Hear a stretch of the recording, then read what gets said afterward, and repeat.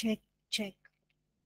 Okay, welcome back after the class. Before we went for our class, we were on page number 20 of uh, lesson one, uh, Code of Honor.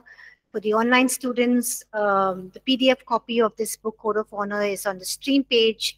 You can access it from the stream page. Okay, uh, let's move on. So we are on page number 20. Uh, we need to fire up our passion for purity Okay, we looked at this verse in Second Timothy chapter 2, uh, verses 19 and 20. You know, when we are people who are constantly cleansing our lives from what is impure, we become vessels of honor. Okay, we become vessels of honor in God's house uh, where God can use us. We are ready for the master's use. Okay, so sometimes when you feel why God is not using us, uh, you know, in using someone else or not using you, then you need to realize that there is something that is impure in your life. You're not being that vessel of honor where God can um, uh, use you. Okay, uh, and uh, even as we become, you know, uh, journey in our Christian walk with God. We think we been, we are, you know, born again. We are going to heaven, uh, you know, and uh, we are already in ministry. We are doing ministries, and so we think that sin cannot come near us, you know. Um, uh, but we need to be very careful that you know we can also get attracted to sin, sinful ways, um, and uh, and at times we can begin to compromise. Uh, we can, uh, you know, adjust to some sins uh, which once we never used to tolerate. That's because we're not walking in line with God. We're not spending time with God. We're not letting His Word and the Holy Spirit correct us and uh, purify us. And we see eventually that our life will go on a downward uh, trail and become very, very uh, disastrous. So it's very important to guard our, our passions. Uh, you know, we have different passions. Um, we need to guard that in, in a pure way uh, and maintain purity in that area. You know, uh, we need to um, fire up our passion for purity. Always keep that passion, that fire burning for purity, in doing things in a pure way. The next thing is in our personal life is we need to set some personal boundaries. Okay. Uh, Psalm 101 verses 2 and 3. Can somebody read that, please?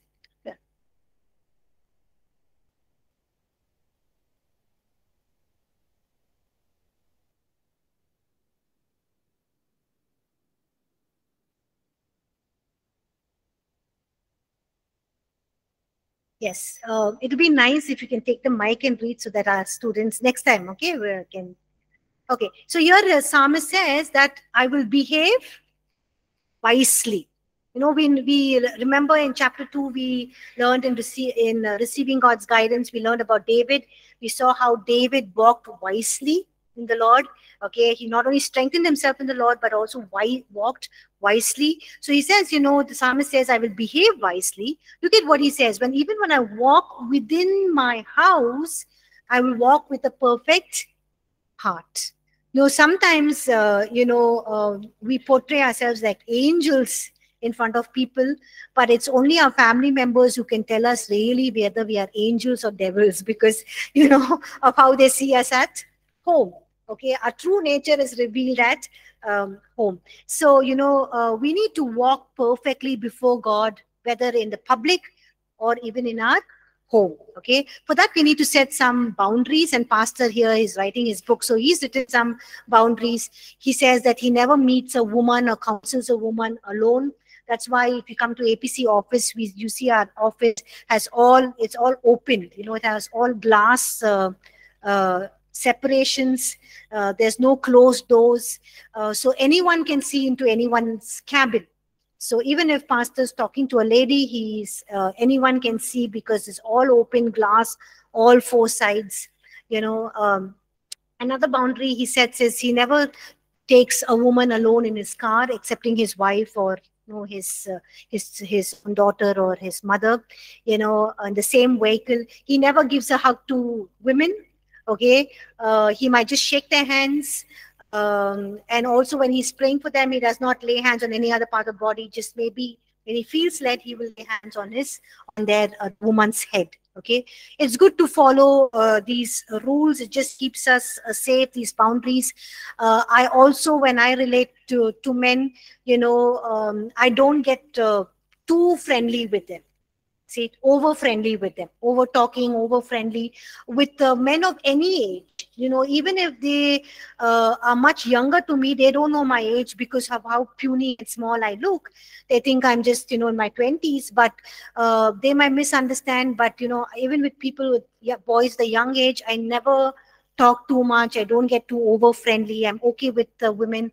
Uh, men also i don't hug and all of those things. Women uh, very rarely but yes sometimes i i just give them a hug. But it's good to maintain all of these um, boundaries okay? Uh, it just helps. Also we need to stay clean from all private sexual uh, sins. Paul says in first corinthians you know all things are lawful for me but all things are not helpful. All things are lawful for me but i will not be brought under the power of anything. Here is talking uh, in relationship with food. But you know we know that our sexuality is designed by god. But even though god it's designed by god there are certain parameters. There's a boundary that he's laid. We can't step out of those boundaries. Now once we become born again people we are in christian ministries we are pastors or whatever it does not make us angels we're still human. Uh, we're still open to sexual temptations and sexual passions, and that's why it's important that you know we, uh, you know, we surrender our sexual appetites, our minds, our sexual desires, everything to God. You know, keep it under God's control. Just like we, uh, you bring every thought captive to God, we also bring our sexual appetites under God's control. We know that our sexuality is um, something that is very private, but you know, um, this is an area where many men, great men and women of God, have actually fallen in this area. So you and I are no exceptions to this case. So that's why it's very important that, um, you know, we maintain these boundaries. We don't compromise with this sin. Uh, we don't give into pornography. Okay. Don't watch, uh, you know, uh, dirty uh, blue films, dirty things that easily available on Google, uh, YouTube. Don't give a second look to things in the magazines. Nowadays, newspapers, you know, uh, sometimes when I look at newspapers, I think, you know, these women would have uh, pictures of themselves when they're fully nicely clad, but they don't show them in, in fully dressed up clothes. They will always show them very, uh, you know, um, very with less less clothing, uh, with much of their flesh or skin revealing, and it's very very sad. Why do they do that? It's basically those kind of newspapers sell, right? If you just have printed material, no graphics, nobody's interested in that material. Even if you look at the billboard signs, you know, just a simple um, uh, jeans ad or just a simple, um, uh, you know, perfume ad will have sexual connotations in that. And it's so sad because that is what sells, but we are not supposed to give into pornography, lustful thinking, even flirting with the opposite sex. You know, some pastors are married and the, the, the congregation or you have a, you know, you're a pastor of a youth group or a, a team that is under your care, you have women who are part of your team you know and you know some of them can easily flirt whether it's a guy or a, a woman you know we flirt with others. Even though we are married or you already are going to engage to be married to somebody you know flirting that is also something that is wrong. First corinthians 5 6 and galatians 5 9 says a little leaven uh, leavens up the whole entire lump. Just little yeast you know can you know just create the fluffiness in the entire entire uh, you know batter or the dough that is there.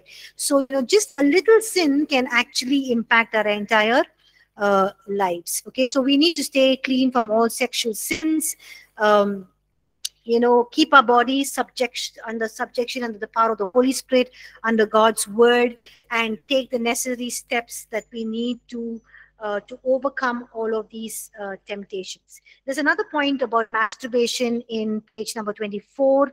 Uh, you know, many of them struggle with this, um, uh, but you know, it there is no personal stand from the from god's word but you know what we view as a church is um, you know we don't want our bodies to be a slave of anything okay? First corinthians chapter 6 verse 12 paul says you know uh, all things are lawful for me but not all things are helpful. All things are lawful for me but i will not be brought under the power of anything. So the question if is masturbation okay or is acceptable is not the question that we need to be asking.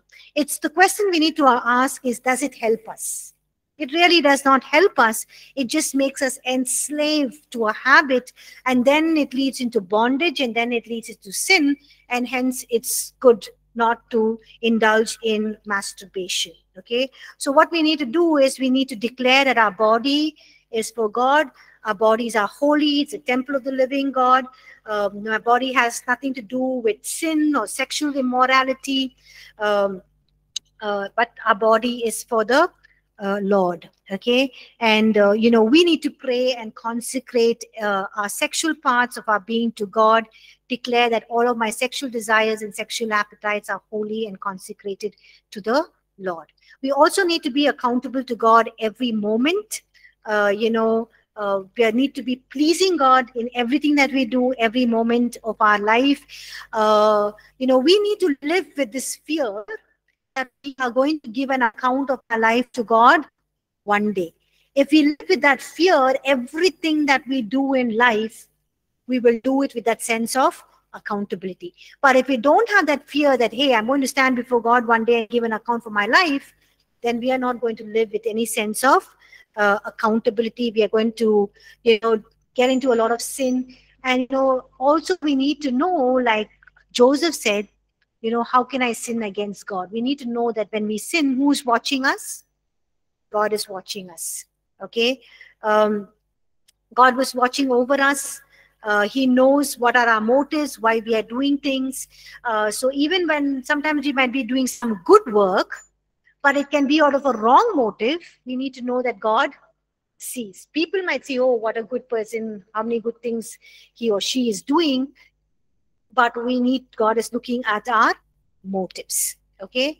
And also we need to know that all the time we are full-time believers and full-time ministers. Whether we are serving god or not we are not we can't say okay i'm in part-time ministry part-time because we can't say i'm a part-time believer. We all are full-time believers in the same way we're also full-time ministers of god.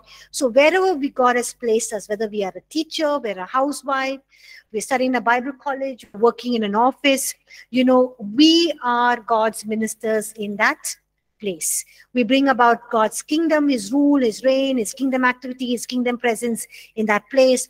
We are a royal priesthood a holy nation. You're you're priests whether you are a teacher, pastor, um, a pilot, a doctor, an engineer, a chef, or, you know, whatever you are, a mechanic, whatever, you know, your calling is that you are a priest. Okay. And that is more important, and you need to live your life um, with that sense of uh, accountability. Okay. And, um, you know, um, we need to, um, like Paul says, you know we um, also need to work with our own hands be diligent be sincere uh, with what god has given to us. At the same time also engage in uh, ministry okay? Uh, this the next point many of you might not think it's important but it is very important. Watch your diet and exercise regularly. You know don't overeat. Uh, don't keep on eating all the time. Eat uh, don't eat a lot of junk food you know our bodies are the temple of the living god. We are accountable to god even to what we are eating how we are taking care of our body how much rest we're giving. Exercise. We need to exercise regularly okay? Uh, because if we don't you know if we don't eat right if we don't uh, exercise and we don't rest well what happens to our body? We have a lot of sicknesses right? And then we are not being good stewards of our body. When you're not being good stewards of our body, our health is not going to, we're not healthy, we cannot pursue the things of God. We can't carry out the vision of God. Spiritually, we won't be able to grow. Um, so you know avoid overeating too much of sweets pastor saying that in his book salt oily food fatty food uh, eat on time you know be very disciplined eating on time you know um, our eating habits and regular exercise will help us to serve god uh, better and longer okay? Uh, and also eating right exercising right resting well will also save time and money okay? What you spend in hospitals medical care uh, so you can use that time and money for building the kingdom of god for more beneficial things. So be consistent in how you eat and rest and exercise okay? And the last thing is have a personal management plan okay? Um, you know when paul is writing to timothy and to titus he's telling them you know i want you to choose elders or leaders in the church and he says he does not say you know if you read first timothy uh, second timothy chapter 1 and uh, titus chapter 1 you see the whole list that paul is giving titus and timothy. Titus who is ministering at ephesus and uh, uh sorry, Titus who's ministering in Crete and Timothy who's ministering in Ephesus, he tells them choose leaders and he tells them what criteria. He doesn't say they should be reading the Bible, they should be godly, they should be attending church regularly, they should be flowing in the gifts of the Spirit, they should manifest the fruit of the Spirit. No, if you read that, you, you'll be shocked. You'll say, you see that he says there should be men of one wife. They should be able to take care of their children. They should uh, not uh, be given to jealousy, hatred, pride, uh, quarreling, not covetous. Uh, they should not be strong willed. Um, you know, they should not be given to wine, quick tempered, not violent. They should not be greedy for money, be hospitable, lovers of good, sober minded, just, holy, self control. Please read that you know, First Timothy, um, Second Timothy chapter 1 and Titus chapter 1. You can see that list. So God is more interested, God is revealing to Paul, I'm more interested in every aspect of the life, not just in the, you know, manifesting the fruits of the Spirit or the gifts of the uh, Spirit. Okay. So, um, you know, the Holy Spirit fills us with boldness and power and love and discipline and of self-control. We all know that verse in Second Timothy chapter 1, verse 7. It says, For God has not given us a spirit of timidity or of fear, but of power, love, and a sound mind. Okay, so that is the Holy Spirit that's giving uh, to us.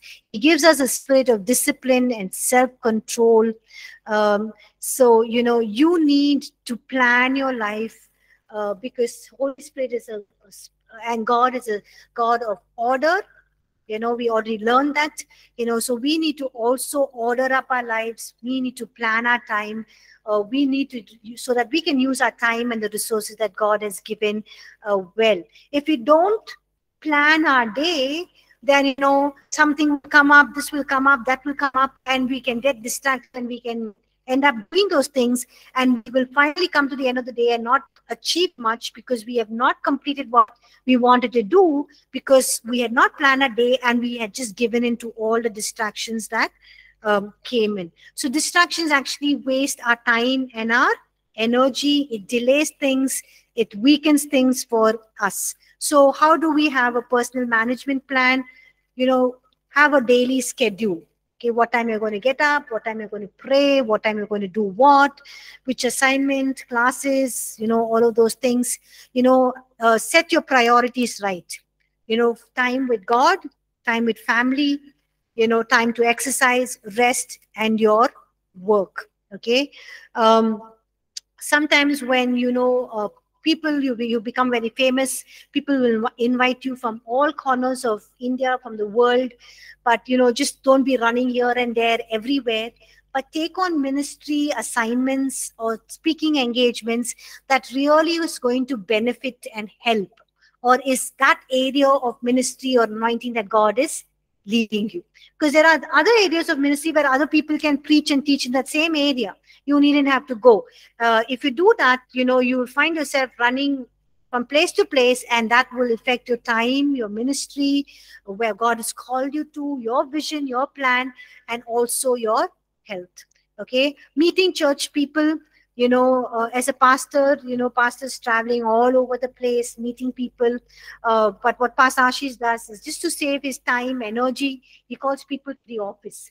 So he knows that people that come to the office only when their situation is very, very important. They will spend the time, energy, take leave, everything, and come and meet pastor. And pastor also saves his time and energy either from running from place to place. You know, in that time of two hours where he can meet only one person, he could meet at least three people because they're just coming there to office. He's not running from place to um, place. So just, you know, um, decide on things what you want to decide in your own ministry he also doesn't go home visiting uh, for birthdays dinners special occasions because such a big congregation if he's going every time every day just imagine, you know, he'll be just doing that and not preparing for ministry and other areas of ministry will um, not be uh, fulfilled or God's plan will not uh, proceed. Okay.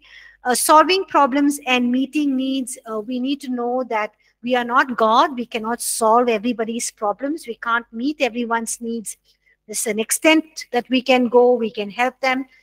To that extent, we can do it. If you're not able to help them, what do we do? we just assign them to show them to somebody else, ask them to reach out to this person, that person, this ministry, that ministry, and they can get the help. But sometimes being in ministry, we think we are God. We need to help people with everything and anything. And that can also become distractions. That can also become a stress for us. That can also eat up into our time. And then we can see that, you know, uh, the things of God cannot be pursued. The vision of God cannot be pursued. And the last thing is, you know, pastor uh, works in, uh, he plans his life 10 years, decades. Okay. So we already spoken about this, you know, uh, just sit down, take a paper, ask the Holy Spirit what he wants you to do this season of the life in your life or in the next 10 years of your life. Just here uh, put down what all you think you want to do the next 10 years of your life just ask the Holy Spirit to lead you and guide you. What are the things He wants you to remove? What are the things He wants to rearrange, change your things, your plans, and just work around that. And you just see that, you know, Pastor says is very beautiful because he has seen, you know, how God works in 10 years of his life. God, he's seen God fulfill his plans, his visions, the dreams that he has, what God has envisioned for him. And also he sees this 10 years as season uh, when God is preparing him for the next season of his life. Yes, Sean, can you please take this mic or you can come up in front and ask your question? Come quickly. Okay. Anyone has any questions uh, for this lesson? One of you can be uh, just helping out with the mic. Yeah. So basically, Pastor Ashish's plan, this 10-year plan is like how um, we can take an example for the government, like how they have their own five-year plan to accomplish certain goals or things that they need to like improve the cities like that. Yes, so, yeah, the government yeah. also has their, uh, yeah. you know, their five years they are in uh, ministry. Yes, this is important to plan. That's the most important thing. Anyone has any questions? Any questions from our online students? Francis, you have a question? Anyone else has any question? Online students, any questions? Okay, there are no questions. We'll move on to the second thing is family. Okay. Uh, it's important for us to balance our work or if you're in ministry, balance your ministry and your family life. Okay. Yes, Sean, take the mic.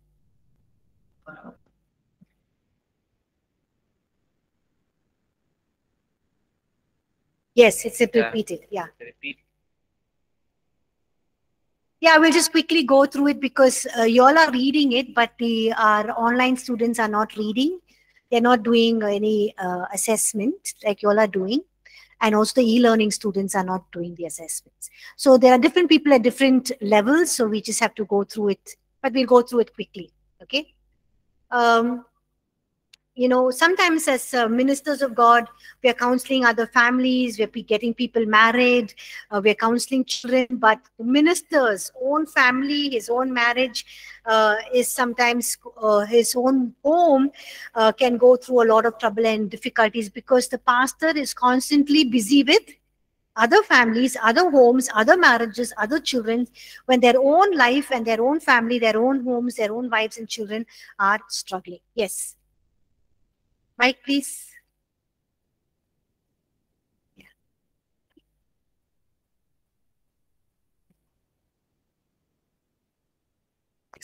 How can we manage our priorities? How can you manage your priorities? Good question. Your first priority is God, right? So now you're not in, involved in any ministry. Okay, so you have to prioritize your time with God. What time am I going to spend time reading with God? Okay? And then what is your next responsibility? Your next responsibility is you're, you're a student now. So you attend classes uh, so you say in the classes i feel very sleepy i feel very drowsy. So in the night i'm not going to be looking at youtube i'm not going to be watching any movies i'm not going to be watching any videos i'm not going to be listening to any sermons in the night. I'm going to get good sleep. For me i'm just saying you know for you for you example eight hours of sleep makes you fresh so you make it a point that I'm going to sleep at this time. Make sure you go to bed. And then, you know, uh, such and such a time, now you have classes. After class, you're having your supernatural hour, fasting prayer. What are you going to do from 4 to 4 to 8 or 9 till you go to bed? You know, if you're not going to plan, you can just sit and talk and play the guitar or sing or learn an instrument or you know um, uh, okay all that is important learning an instrument but you've not come here to learn an instrument right? You've come here to learn god's word. So you want to say okay i've learned today about uh, you know my identity in christ so i'm going to look at the notes i'm going to prepare i'm going to read god's word. You know uh, this teacher said this about this scripture let me look at it. You know you're going back to the notes that you the teachers have taught you you just have three classes. You can just spend one hour just going through. It's actually building you up in the things of god. So maybe four to uh, four to five you say four to five i'm just going to rest. Maybe five to six you need rest right? Four to five i'm going to rest. I'm going to sleep for some time. Uh, five to six i'm going to play some game or i'm going to go for a walk because exercise is important. So you're just walking around the campus. And then you know from six to uh, nine i'm just going to spend time because i'm here in bible study to study, to learn God's word. I'm not here to uh, just talk, uh, to sing, to learn music, to sing well, to lead worship. All that is important, but I'm here to learn God's word because learning an instrument, you can do it later. Singing, you can do it later, but you'll never get the time to go through all of these notes. So, priority is that. First priority is God. Second priority is learning what you have been taught every day.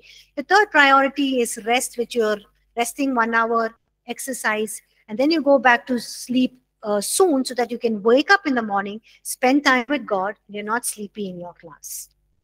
Priority. See? So for me, sometimes my priority is ministry, so I don't uh, go shopping I hardly go shopping. I hardly go visiting anybody uh, because I don't have the time. I just have this priority. Today I have to do this, this, this, this, this. I have to do it. I have to finish it.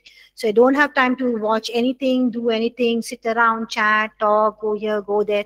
Is you know you just have to get your work done because you you know you don't get your work done. It just gets delayed and gets piled up. It becomes uh, a difficulty.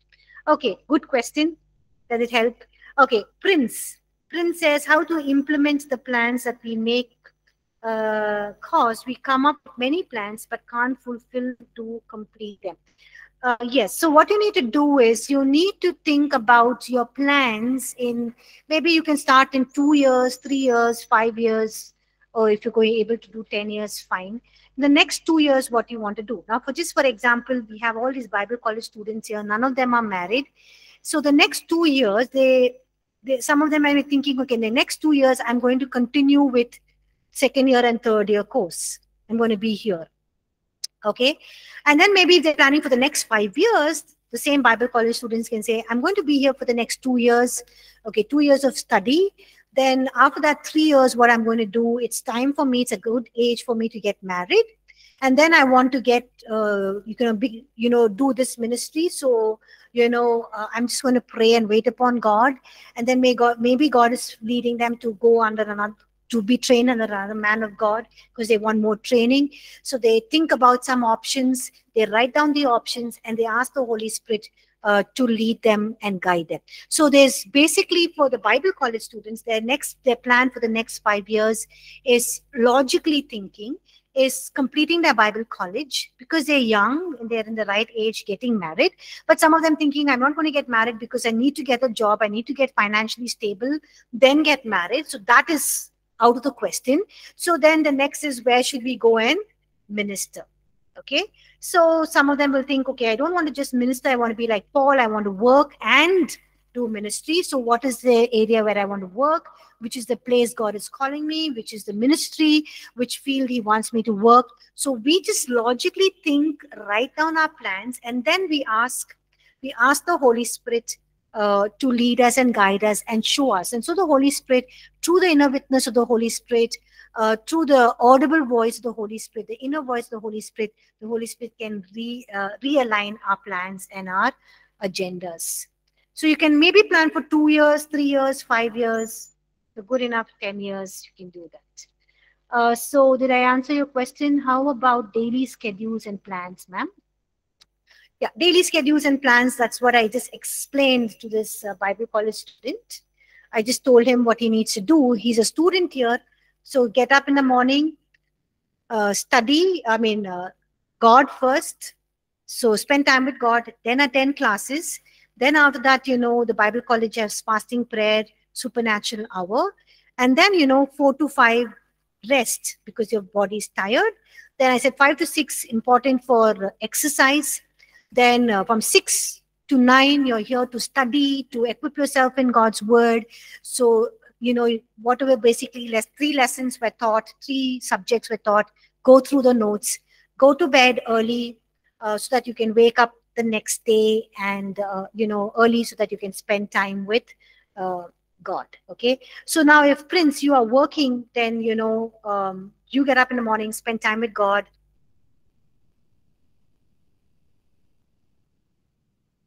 prince.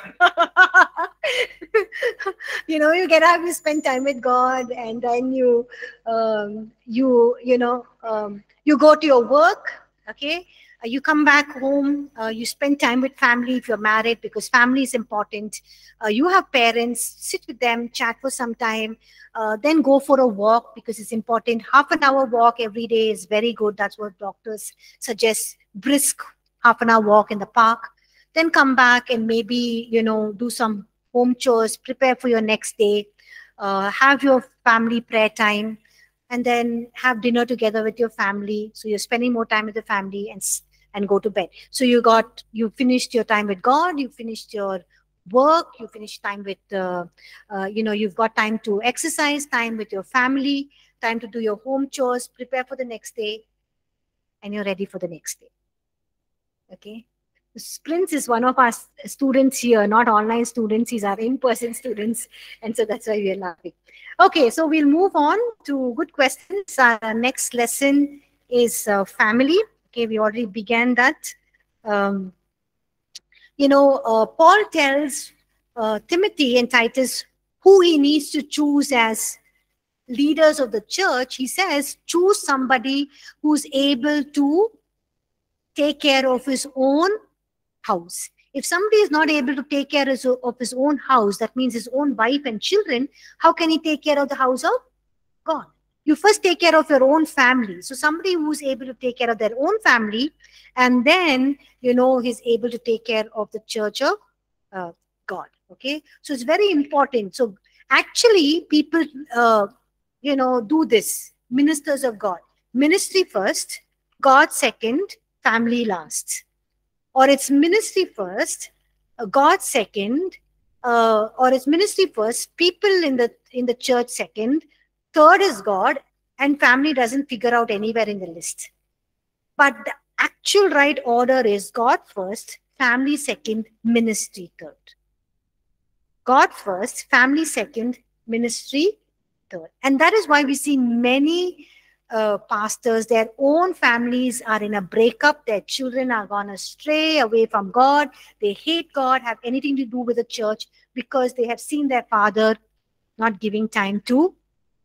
So, why do we need God if this is going to happen to our family? And wives are not feeling that love, that understanding, the time with their husband. They're looking for love somewhere else. Okay. So, uh, yes, Sean, please take the mic. Come up in front.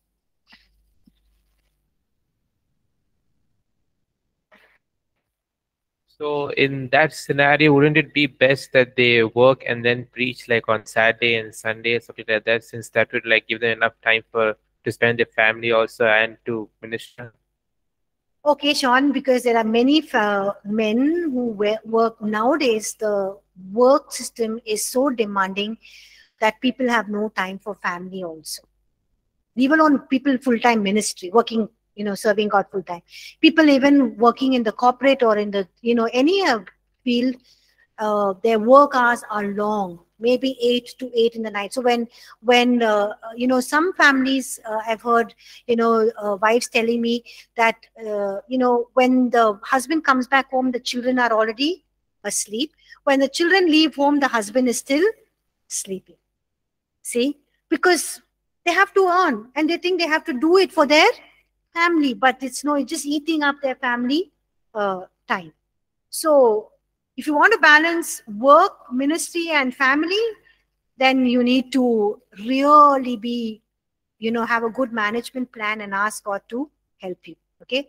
On page number 36, there are three postures, you know, that, uh, you know, is mentioned in the Bible. One is in Luke chapter 14 uh, where Jesus says, If anyone comes to me, but he does not hate his father and mother and wife and children and brother and sister, he cannot be my disciple. So, one posture it says in the Bible that we have to hate our mother, father, brother, sister, leave everybody and follow God. The second one, Paul says in First Corinthians chapter 7, he says that um, even those who have wives should be as though they had none. The second thing is, second stand is, the Bible says, those who have a married, you know, they should pretend as if to say they are not married. They should be busy doing God's work or working. Okay. Uh, there should be people like as though they don't have any wives. The third thing, uh, the third stand or third posture is First Timothy chapter 3, where it says that, you know, um, uh, a, a leader or a church or a church elder should take care of his own wife and his children. So the whole question is which stand should I take? You know, should I be a disciple of Jesus and forget about my father, mother, brother, sister, wife, children, everybody? Or the second one is be married but pretend as if to say you're not married. That means don't be, you know, engaged in taking care of your wife and your other son. Be totally engaged in working for God and or doing your personal work. The third thing is, you know, take care of your wife and children. So, which is the right position to take? So, people have raised up this question. Actually, okay, we need to fulfill all of these three simultaneously together. Okay, which means uh, our love for God should be overs or supersede our love for our wife and children and all earthly relationships. And when God calls us, we must be willing to make sacrifices and not excuses saying that god you know i can't go to the mission field because i have my wife and uh, children. And uh, you know or i want to get married you know whatever. Okay? So the first thing is our love for god should supersede our love for our wife and children and earthly relationships. So when god calls us we need to be willing to make sacrifices. The second thing is even though we are married okay our focus should be on Christ, fulfilling, while fulfilling our family responsibilities, we must also fulfill what God has called us. We should not be distracted with just taking care of our family. Okay. Uh, and the third thing is we need to do our part in growing and nurturing our family, and God will be glorified. Okay. So all three work simultaneously together. So when God is calling us for full-time ministry, we don't make an excuse saying our family. Okay. I can't make an excuse saying, God, I can't go to Bible college because my father didn't want me to go to Bible college. So that was not the time my father wanted me to go to Bible college. I had to go to Bible college, but God took care of, you know, making my father understand.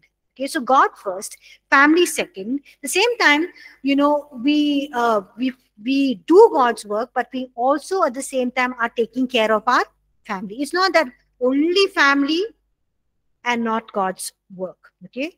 And the third thing is, you know, we need to do our part in growing and nurturing our family, and God will be glorified. Okay. Uh, we also need to nurture our relationship with our spouse. You know, sometimes pastors, ministers, they're so busy ministering to XYZ or ABCD, FGH, IJ, all the people that come to them, but they neglect their own spouse. They don't have time to speak to their own family, their own children. They just think their own spouses will take care of things automatically. Uh, but it's God given responsibility for you, husband and wife, to take care of each other, to nourish, cherish, uh, and to help your uh, spouse. Just as we are taking care of other people, we are equally responsible to giving our time, care, affection for our own family uh, and our own wife and our own children. Also important to nurture your relationships with your children. Um, Ephesians chapter 6 verse 4. Can somebody use the mic and read it loudly? Where's the mic? Okay, can read that? And you and you fathers do not provoke your children to wrath, but bring them up in the training and admonition of the Lord. Thank you. Sometimes ministers or pastors think that we should be busy doing God's work. It's the responsibility of the wife.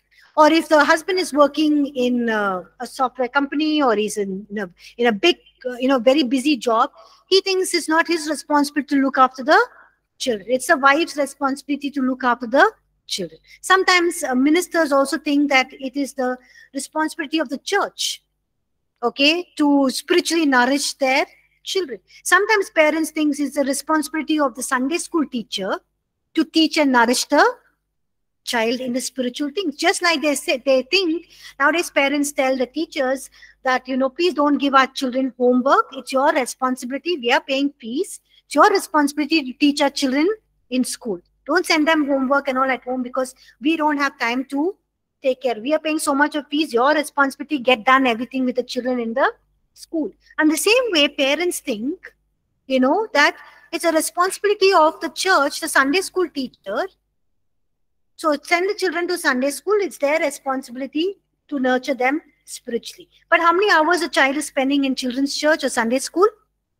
One hour. Okay, in that singing, everything, half an hour only God's word. It's actually the responsibility of the parents because in the old testament it also says we look at it okay? It's important that we are able to train up our children in the ways of the uh, lord. We just don't tell children what they should be doing and what they should not be doing because children don't listen. Only when you have a relationship with them you know children will listen to you because they know okay my father or my mother genuinely understands you know um, uh, is spending time you know uh, having a relationship.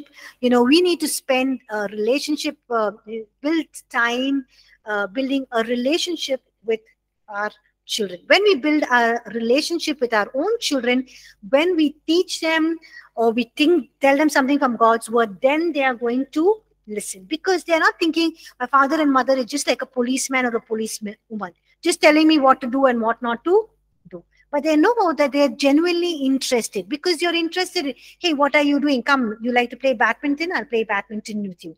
You like to play um, your painting?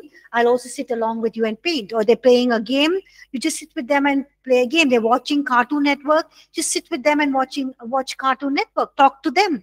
So they basically thinking my parents are genuinely interested in what I am doing. So when you're telling them, you're correcting them, you're teaching them something from God's word, they will listen to you. Or they will think, oh, there is somebody who's really like a pastor, a preacher, just telling me what to do, what not to do, and not interested. Okay. The next thing is we need to work to provide for our family. Can somebody use the mic, please? Rin, can you take the mic and read First Timothy chapter 5, verse 8? On page number 39. But if anyone does not provide for his own, and especially for those of his household, he has denied the faith and is worse than an unbeliever. These are very strong words that Paul uses. He says, if anyone does not provide for his own family, especially for his household, he has denied the faith and is worse than an unbeliever. Okay, so sometimes you know, a minister's children, you know, they uh, they hate ministry or they hate church or they hate God because they think because their parents are in ministry has separated them. Some of them have been put into boarding schools, mission boarding schools. Okay, so they hate God. They have nothing to do with God. I've seen many missionary children like that because they cannot stay with their parents. Why? Because their parents can't afford them. Okay, and they hate God. They hate anything to do with God or spiritual things because they think God cannot provide for them. So Paul is saying, you know, you need to provide. So if ministry is not giving you that kind of money where you're able to feed your uh, spouse and your children and take care of their needs, then it's okay to get a small job. It's not sinful to take a small job, you know, do a job. At the same time, you can also minister. You can run your church. You can, you know, preach on Sundays. At the same time, you can work. That, that way, you can actually, you know, feed your children, you know, feed your spouse and see that they are not lacking uh, in any which way. So it's not sinful if you take up a job it's not uh, like, you know, Jesus says you're looking back at the plow. It's not a sign of unbelief. No, it's just that you are earning so that your family is not deprived of their basic needs. Okay. Pursue God's purpose as an uh, individual. Okay. Uh, Matthew chapter 10. Can, um, uh, can somebody read that? Matthew chapter 10. Rin, can you pass that mic to somebody quickly? Matthew chapter 10, verses 37 and 38. Francis put on the mic and read. Matthew chapter 10, verse 37 and 38. He who loves father and father or mother more than me is not worthy of me. And he who loves son or daughter more than me is not worthy of me. And he who does not take his cross and follow after me is not worthy of me. Okay, so here this verse seems to be a contradiction to what we have actually, a sudden shift from what we've been saying uh, so far. Yes or no?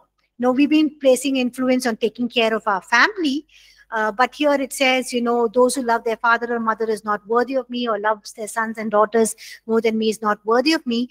But here actually is saying that it's important to take care of the family, but uh, we cannot compromise our call, our love for God, our obedience for God for the sake of our family. Okay. So if, uh, you know, if um, uh, you're, you know, you're financially stable and you've worked hard and then you want to go into ministry, uh, and you know your wife knows that you know uh, or your husband knows that if you step into ministry then that income will not come. You might not be able to go abroad for holidays or you might not be able to uh, buy a bigger house or a bigger car that you were planning to uh, because the sudden call of god has come into your life and you feel that this is the time to take and you take on that call because you feel that your children are okay you have some bank balance to take care of your children's education. You can go ahead with your ministry. But your wife or your spouse says, you know, don't do that. You know, if you do that, we cannot buy a bigger house or we cannot uh, buy a bigger car or we cannot, you know, um, go out and eat or uh, in restaurants or we can't go for holidays or anything. So don't pursue that call. Well, that is when we don't pursue God's call in those times when we just want to, you know, feed our greed and not just our needs, then it's making a compromise. Yes, we need to take care of our family, but also the same time, we don't compromise on our love for God and obedience to His call. Okay, uh, we walk ahead with God's uh, plan and purposes for our life in, in Christian ministry.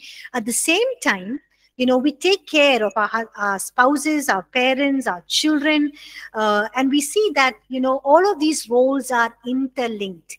Each role strengthens the other okay? Uh, for example success in one area is success in another area. So if our wife and our children are happy our home is happy our minds are free we can go and minister. Okay? Uh, and there's success in that area. If our wives and children are not happy there's problem at home you know we cannot be successful in the area of our uh, ministry. Okay, so we'll stop here. Uh, anyone has any questions? Yes, Sean, please take the mic and you can ask your question. Uh, another thing I wanted to add about like why sometimes Is it on? Yes. Okay. Uh, yeah. Uh, another reason why um, I think children become rebellious, you know, when uh, when they're, you know, especially like pastors' children, is because it's not. Uh, maybe it can be like more, not getting much attention. Another extreme is that they give too much attention on uh, forcing them to read the Bible and the Word, and not giving them like much freedom. I think that's another thing that you need to ta- take into account. Yeah, that's very true. We'll come to that where it says, you know, as uh, don't use every uh, opportunity to preach a sermon to your wife or to your children, you know, or don't use every opportunity to take, you use Bible chapter and verse to tell your wife and children, you know, what to do. That is the worst thing to do, especially when you're having a disagreement and an argument. You know, don't over spiritualize. Don't bring Bible verse, chapter, tell them, because that would totally put off a person. Okay yes not teaching children also can lead them astray overemphasizing being over strict can also get them away from god. That's why he said it's important to have a relationship. When you do everything in a context of a relationship the person understands your motives and why you're doing what you are doing. Okay? Relationship is important. That's why build a relationship with somebody you can get them to do whatever you want. Okay? Okay, we'll stop here. Uh, any questions from our online students? Yes, Chira, you can take that mic. Prince uh, Vidyadeep, you have any question? You can type it in the chat. Is it okay to not get married? Is it okay? To not get married? It's okay not to get married? Yes, it is okay not to get married because Paul says, uh, you know, those who are i- in in one of these verses here, it says Paul says it's okay for you not to get married because when you're not married, it actually helps you to, um, you know, um, take care of God's, you know, work even more. You know, because you don't have this responsibility. First Corinthians chapter seven, verses twenty-nine to thirty-five says, uh, He who is unmarried cares for the things of the Lord, how he may please the Lord. But he who is married cares about the things of the world, how he may please his wife. Uh, I'm personally unmarried, so it gives me a lot of time to do ministry uh, because there's no responsibility of a spouse and a, uh, and uh, and children. You just have your parents. Most of the time, they're doing things for us still. Okay. Okay, good question. Anyone else has any other questions? But I think uh, calling to be unmarried is a call from God. Yes, He gives you the grace. If you're not called to be a not if you're not called to be married or unmarried, then if you pursue that, then you won't get that grace. Chira, you're planning not to get married? okay, thank you everyone for joining class. Uh, I hope um, online students no questions. Okay, if there's no questions, we'll end class. Thank you, everybody. Have a blessed weekend. Uh, God bless you. Thank you. Thank you, Prince.